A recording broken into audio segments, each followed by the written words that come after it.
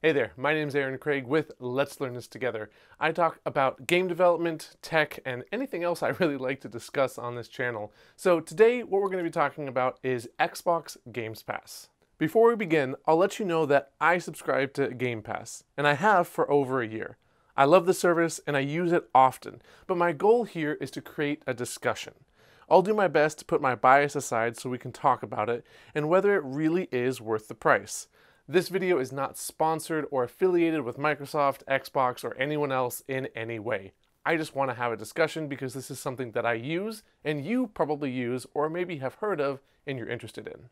First, let's discuss what a subscription service even is. I'm sure you already know, and maybe you're already sick of them. They've grown exponentially in the past few years, encompassing all areas of life. You can get a subscription for dog treats, comic books, movies, and everything in between. They're not limited to Netflix and HBO. You can subscribe to almost anything these days for just a small fee. But those small fees start to add up. In 2019, the average American spent $640 a year on subscription services like Spotify, cloud storage, Netflix, and so on. Even though each one is only a few dollars a month, the services start to add up. It becomes essential to pick only the best ones for you and leave the others by the wayside. I bring this up because there are so many subscription options, even in the gaming realm. Instead of subscribing to Xbox Game Pass, you could buy Humble Choice, PS Now, EA Origin Access, and more. What makes Game Pass worthy of your money, especially when it's on the more expensive side? Let's break down what you get with Game Pass. There are two tiers. The first one is just $9 a month, and it gets you access to their game library on either Xbox or PC.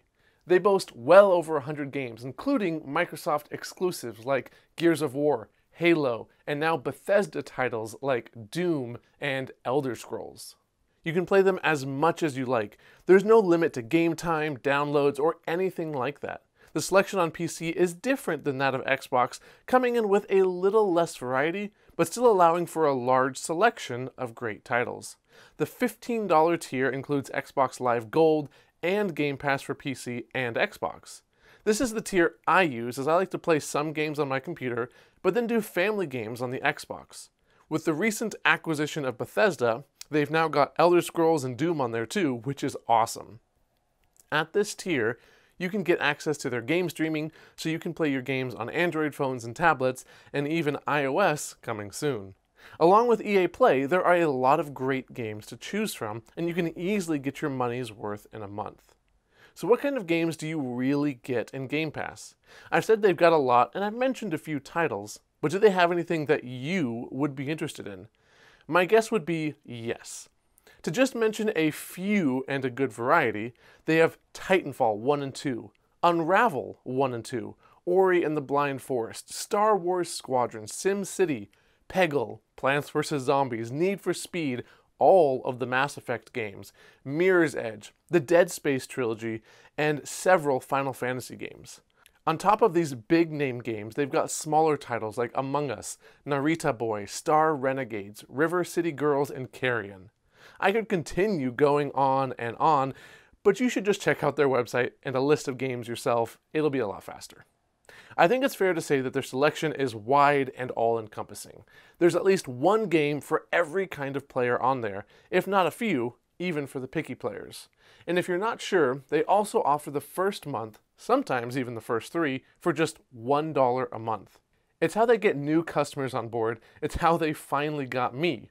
For that price, it's hard to resist. And then once you're used to having such a large selection of games to choose from, it's hard to go back.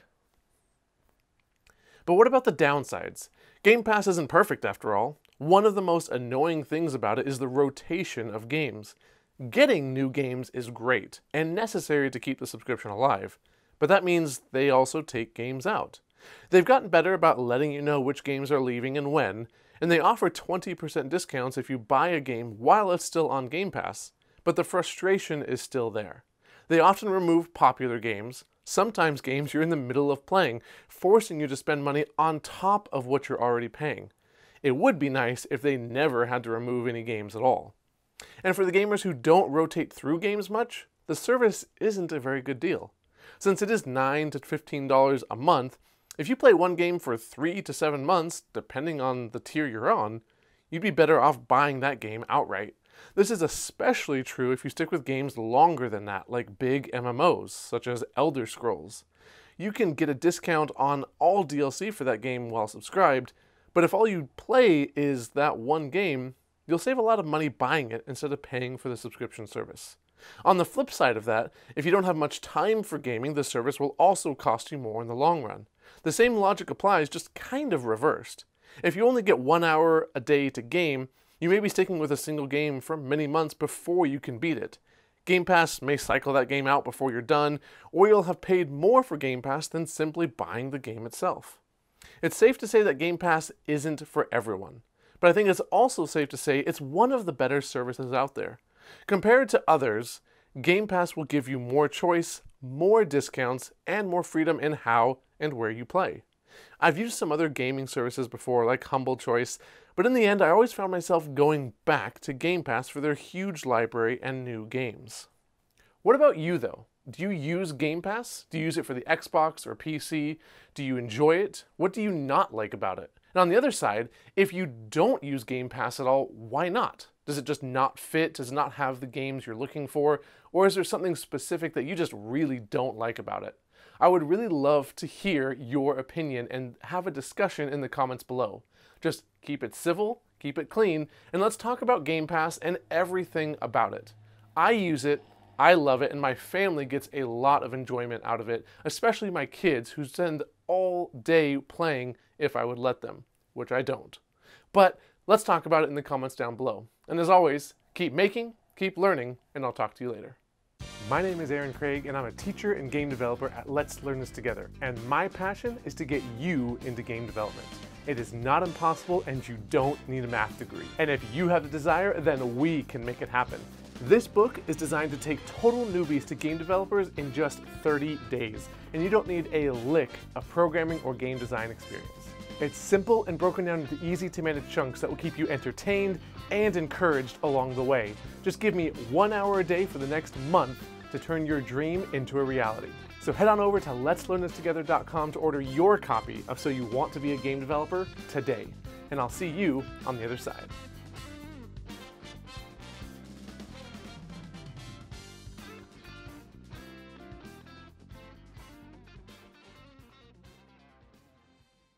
A huge thank you to all of the awesome people who support me over on Patreon. Their names are on the screen now, and every dollar pledged helps me create more awesome content. You can support me for as little as $1 a month and get access to exclusive perks like my Discord server, your name in the credits, early access to my YouTube videos and courses, and more. Check it out at patreon.com slash letslearnthistogether.com or find the link in the description below and become a patron today.